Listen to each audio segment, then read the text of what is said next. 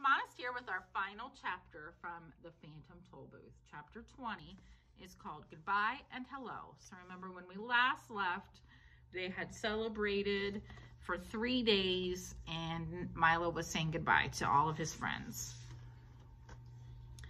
As the pleasant countryside flashed by and the wind whistled a tune on the windshield, it suddenly occurred to Milo that he must have been gone for several weeks. I do so hope nobody's been worried, he thought, urging his car to go faster. I've never been away this long before. The late afternoon sun had turned now from a vivid yellow to a warm, lazy orange, and it seemed almost as tired as he felt. The road raced ahead in a series of gentle curves that began to look familiar, and off in the distance the solitary toll booth appeared, a welcome sight indeed. In a few moments he reached the end of his journey, deposited his coin, and drove through. And almost before realizing it, he was sitting in the middle of his own bedroom again. It's only six o'clock, he observed with a yawn. And then in a moment, he made an even more interesting discovery. And it's still today. I've only been gone for one hour. He cried in amazement, for certainly he never realized how much could be done in such a short amount of time. And it's still today. Oh, I already read that part, sorry. Milo was much too tired to talk and almost too tired for dinner. So without a murmur, he went off to bed as soon as he could. He pulled the covers around him, took a last look at his room, which somehow seemed very different than he'd remembered it, and drifted off into a deep and welcome sleep. School went very quickly the next day, but not as but not quickly enough, for Milo's head was full of plans, and his eyes could see nothing but the toll booth and what lay beyond. He waited impa- impatiently for the end of class, and when time finally came, his feet raced his thoughts all the way back to the house. Another trip, another trip. I'll leave right away. They'll all be so glad to see me. He stopped abruptly at the door of his room, for where the toll booth had been just the night before, there was now nothing at all.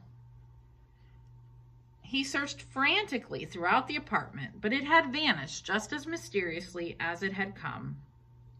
In its place was another bright blue envelope, which was addressed simply, For Milo, who knows the way. He opened it quickly and read, Dear Milo, you have now completed your trip courtesy of the Phantom Tollbooth. We trust that everything has been satisfactory and hope you understand why we had to come and collect it. You see, there are so many other boys and girls waiting to use it. It's true that there are many lands you've still to visit, some of which are not even on the map, and wonderful things to see that no one has yet imagined. But we're quite sure that if you really want to, you will find a way to reach them all by yourself. Yours truly. The signature was blurred and he couldn't read it. Milo walked sadly to the window and squeezed himself into one corner of the large armchair. He felt very lonely and desolate as his thoughts turned far away to the foolish, lovable bug, to the comforting assurance of Tock standing next to him, to the erratic, excitable Dynne, to little Alec, who he hoped would someday reach the ground, to Rhyme and Reason, without whom wisdom withered, and to the many, many others he would always remember. And yet, even as he thought of these things, he noticed that the sky was a lovely shade of blue, and that not one cloud, and that one cloud had the shape of a sailing ship. The tips of the trees had pale young buds, and the leaves were a rich, deep green. Outside the window, there was much to see and hear and touch. Walks to take, hills to climb, caterpillars to watch as they strolled through the garden. There were voices to hear and conversations to, to and wonder, and the special smell of each day.